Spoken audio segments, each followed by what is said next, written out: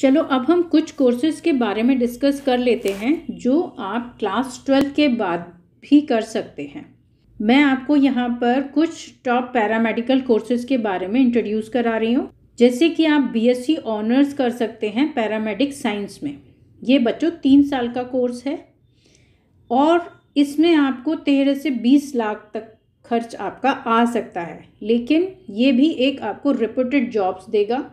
Next हमारा आता है बीएससी रेडियोलॉजी ये तीन साल का कोर्स है, इसमें कम से कम आपके दस लाख तक खर्च हो सकते हैं।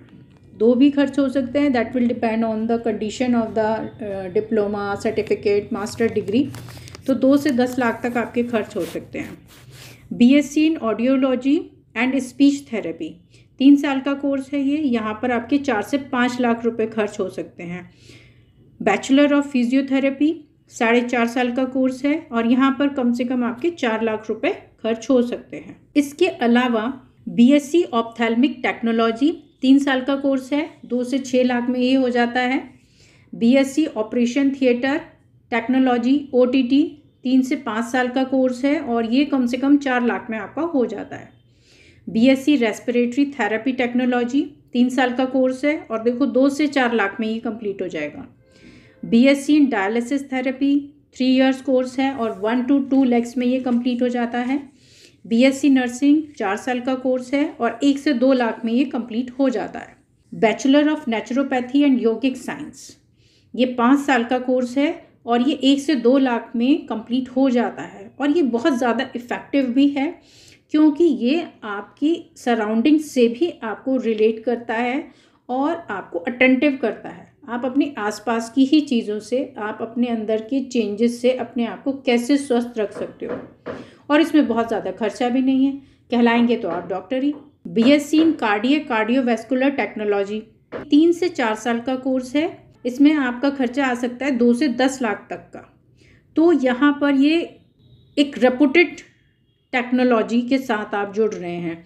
यदि आप कार्डियक और कार्डियोवेस्कुलर टेक्नोलॉजी से आप कनेक्टेड हैं तो सीधे ही आप हार्ट स्पेशलिस्ट जो हैं, उनके ही जैसी एक डिग्निटी और वही एक रेपुटेशन और उसी टाइप की आपको एक बहुत अच्छी जॉब्स मिल सकती है। तो डॉक्टर बनने, केवल एमबीबीएस डॉक्टर बनने का सपना कभी भी मत देखिए। आपके पास बहुत सारी फ़ील्ड हैं आपके अपने चॉइस के सब्जेक्ट के साथ जाने के लिए।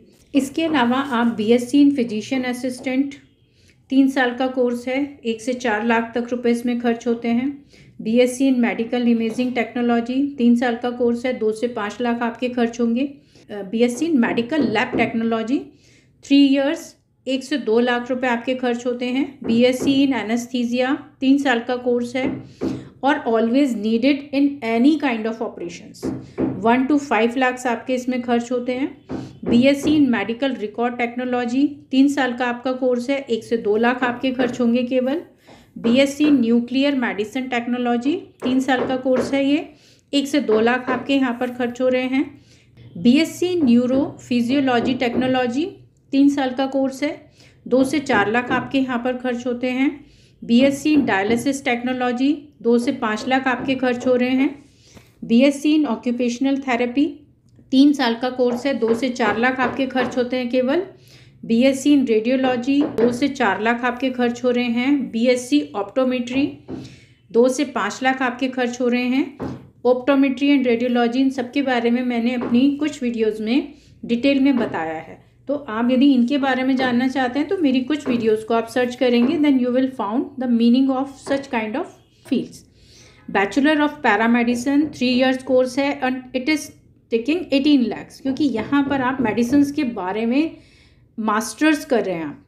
बैचलर ऑफ़ पैरामेडिकल टेक्नोलॉजी तीन साल का कोर्स है, एक से दो लाख आपके खर्च होंगे केवल। Bachelor of health in paramedicine honours degree तीन साल में तो यहाँ पर आपके एटीन लैक्स खर्च होते हैं। देखो, जो भी आपकी रेपुटेड वेल रेपुटेड कोर्सेज हैं, उनके लिए थोड़ा सा आपको ज़्यादा खर्च करना पड़ेगा। Diploma in physiotherapy two year course है, एक से तीन लाख आपको केवल खर्च करने होते हैं और आप फिजियोथेरापिस्ट बन जाते हैं। जनरल नर्सिंग एंड मिडवाइफरी तीन साल का कोर्स है और आपके इसमें खर्च होते हैं केवल एक से दो लाख रुपए। तो आई होप बहुत सारी मैंने आपको दिशाएँ दे दी हैं, जिसमें कि आप इनको सर्च कर सकते हो और चूज़ कर सकते हो कोई भी एक शॉर्ट टर्म कोर्स इस वीडियो में अभी इतना ही मैं आपसे डिस्कस कर रही हूँ। In my next video I will tell you what kind of courses you can do for the paramedical staff you can be a reputed paramedical staff have a nice day have a happy day.